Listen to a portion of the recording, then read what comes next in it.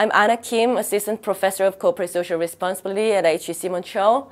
I developed this case on 10,000 Villages, one of the oldest fair trade organizations in the world, together with uh, Cécilia Renaud, who used to be volunteering for 10,000 Villages.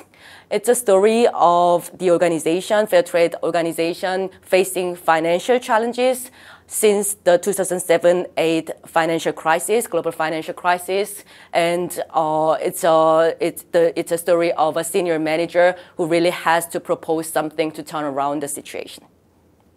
The primary pedagogical objective in this case is for students to understand the challenges of how social enterprises or mission-driven enterprises can balance their social mission with financial sustainability.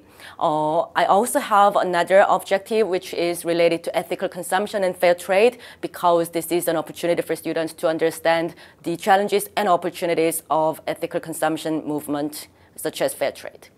So we, de we developed this case for senior undergraduate students and also MBA students who are taking courses on uh, social entrepreneurship, sustainable development, uh, corporate social responsibility, especially on sessions such as ethical consumption. So we developed this case for a three-hour class on social entrepreneurship. Uh, in the first part of the class discussion, uh, the students take the perspective of a senior manager uh, who has to make uh, a proposal to turn around the situation in 2013. So students work in small groups to come up with their own proposal with their justifications.